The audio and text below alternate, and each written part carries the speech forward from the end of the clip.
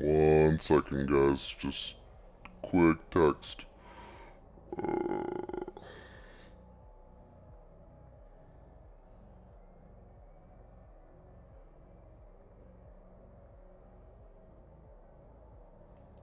Alright, here we go.